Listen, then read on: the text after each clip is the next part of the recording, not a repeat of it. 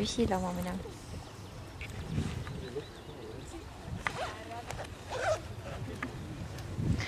kolm, ikka viie koera kaupa ja.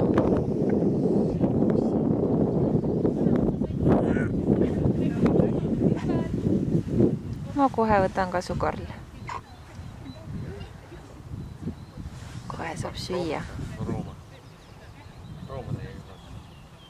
kuule, mina kuskilt lugesin statistikast, et tänav on ka puhtam kui muru, sest murus elavad bakterid, aga tänaval surevad bakterid ära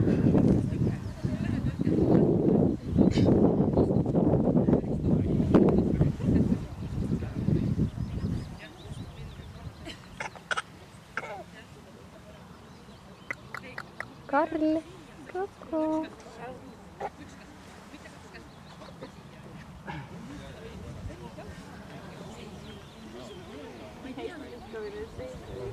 Pane nii, et ta näeb jah. kuidas teil seal äh, kodus on, on palju sääske muidu seal maja ümber ei ole mm,? tead, see sõltub, et praegult on sihuke, praegult ei ole väga palju huvitav niimoodi, aa, pandigi niimoodi viltu, jah. Nad ei tahtnud, et päike otse silma paistaks. sest ma alguses vaatasingi, et koer on viltu, aga nad ongi ise kõik viltu natuke.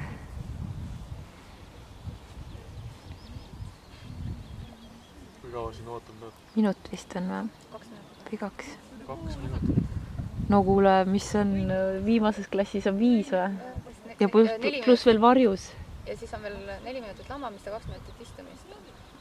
aa, siit kaugelt hüüad nagu, et nüüd istume? ei, no sa paned istuma lähed ise peitu. koer peab üksi platsi peal lamama istuma vastavalt siis. okei okay. ühel on sääse vist seal, teisel sealt vasakalt. Oi. üks kärm on tutt ennast. ta on väsinud.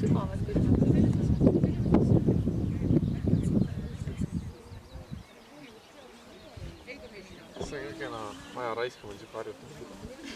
tead, see on püsivus ja ikka väga paljud koerad, ma ei tea, kas see nuuskimine ja kõik, siis võetakse natuke. siis ise grillid seal nõnda tuul on nende peal.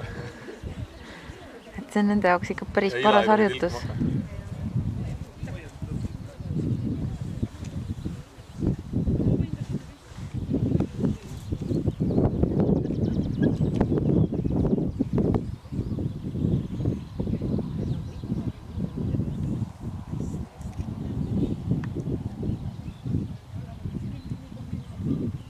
hästi vetseisad seal.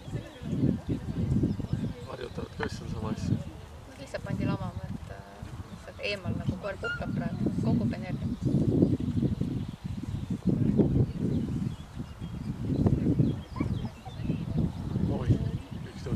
null. aga see on vist null on ikka ju.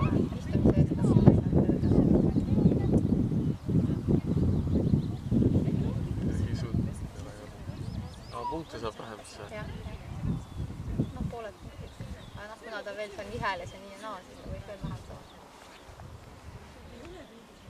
see valge vist oli päris hästi seal.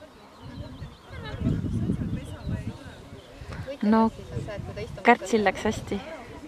Kärn oli ka tubli jah. ja Raili oligi mures, et siin paar harjutustrenni on nagu nässu läinud